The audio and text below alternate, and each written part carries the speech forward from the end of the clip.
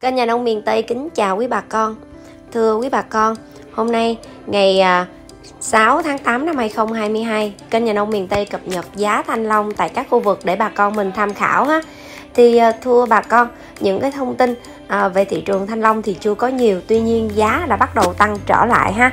À, thì à, như vậy thì rất là vui đối với những bà con nào hiện nay đang còn thanh long để bán thì à, thị trường thanh long hiện nay à, tuy chưa có nhộn nhịp trở lại nhưng giá cũng đã bắt đầu à, có những cái tín hiệu đáng mừng hơn.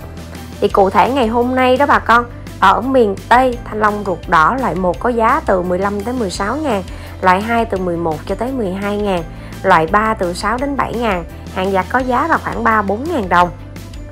Thanh long ruột trắng ở miền Tây mua xô từ 11 cho tới 12 ngàn đồng. Tiếp theo sẽ là giá thanh long ở Bình Thuận nha bà con. Thanh long ở Bình Thuận, thanh long ruột trắng, bò đẹp là 18 ngàn, 17 ngàn và 16 ngàn. Bò sàng là 16 ngàn, 15 ngàn và 14 ngàn. Hàng giặt có giá từ 6 đến 7 ngàn đồng. Thanh long ruột trắng ở ờ, Bình Thuận mua xô từ 11 cho tới 13 ngàn. Còn thanh long ruột đỏ ở Bình Thuận hàng đẹp giá về vựa là từ 15 cho tới 17 ngàn đồng bà con nắm giá ngày hôm nay nha. Ngoài giá thanh long thì trên kênh còn cập nhật giá các loại nông sản khác giá thuốc bảo vệ thực vật giá phân bón.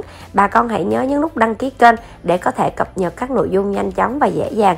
À, cũng như bà con có thể bình luận vào kênh để trao đổi thêm nhiều thông tin khác. Xin cảm ơn và kính chào.